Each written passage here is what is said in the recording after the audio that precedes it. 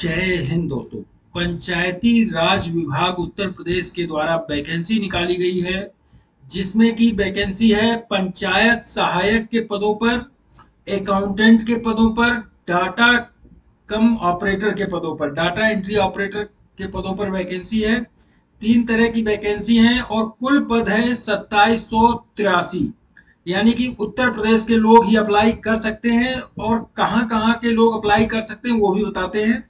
ग्राम पंचायत में ये वैकेंसी है। ग्राम पंचायत का ही निवासी होना चाहिए। जिस ग्राम पंचायत में आप अप्लाई कर रहे हैं, उसी ग्राम पंचायत के निवासी होना चाहिए। इनकी आधिकारिक website W W dot panchayat dot com dot N I C पर लॉग इन करके अप्लाई कर सकते हैं। नहीं तो इसका लिंक भी मैं डिस्क्रिप्शन में दे दूँगा। ये फॉर्म ऑफलाइन अप्लाई होगा।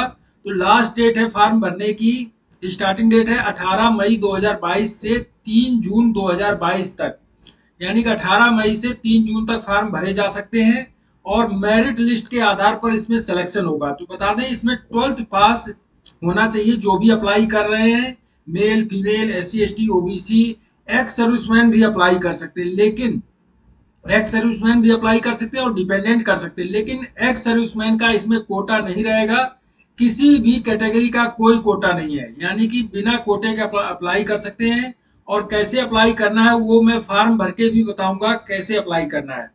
तो ये इसके शेड्यूल दिए हुए हैं। आपका ग्राम पंचायत की श्रेष्ठता यानी कि मेरिट लिस्ट 10 जून 2022 से 17 जून 2022 तक आ जाएगी। जब आप अप्लाई कर देंगे उस उसके बाद आपकी मेरिट लिस्ट आ जाएगी। तो कहाँ कहाँ फार्म देना है वो भी मैं बताऊँगा। किस किस जगह फार्म पहुंचाना है, उसकी रिसिप्ट लेनी है। तो ये तो था नोटिफिकेशन अभी फार्म देख लेते हैं फार्म कौन सा है। तो ये ऑफलाइन फार्म भरा जाएगा। इसमें बता दें कि जिस पोस्ट के लिए अप्लाई कर रहे हैं, उसमें आपको टिक कर देनी है ऐसे। इसके बाद जिसमें अप्लाई कर रहे हैं, इसके बाद ग्राम पंचायत का नाम डालना है। जिस ग्राम पंचायत के हैं आप। उस ग्राम पंचायत का नाम डालना है। इसके बाद विकास खंड, यानी कि तहसील का नाम डालना है, जिस तहसील से आप आते हैं। इसके बाद डिस्ट्रिक्ट का नाम डालना है, जिस डिस्ट्रिक्ट से आप आते हैं। तो ये तीन चीज़ आपको खुद भरनी है और क्या भरनी है, वो जिस स्टेट, डिस्ट्रिक्ट और जिस डिस्ट्रिक्ट विकास खंड और पंचायत से, ग्राम पंचायत से आते वो भरना है। इसके बाद अपनी फ़ोटो, लेटेस्ट फ़ोटो चिपकानी है इधर।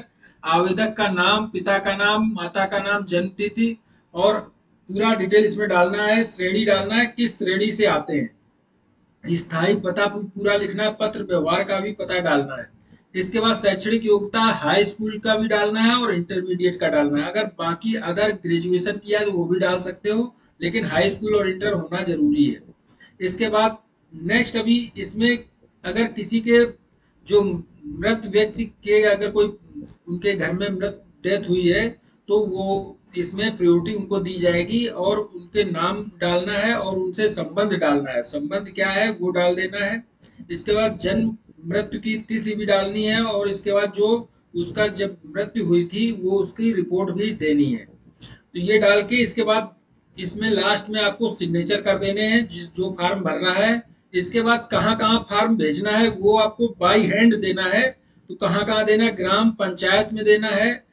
विकास खंड में देना है, जिला पंचायत में देना है। इसके बाद उनकी रिसिप्ट भी लेना है, उनसे प्राप्त की रिसिप्ट, इधर वो हस्ताक्षर करेंगे और प्राप्तकर्ता के नाम लिखेंगे तो जहाँ जहाँ आप दे रहे हैं, वो तीनों की रिसिप्ट लेना ज़रूरी है। ये फॉर्म भर के तीन जगह आपको भेजना है, तीन जगह जमा करना है। इसकी रिसिप्ट भी आपको ले लेनी है, जिसके पास फॉर्म जमा कर रहे हैं।